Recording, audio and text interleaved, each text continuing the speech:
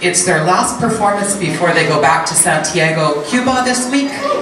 Please welcome.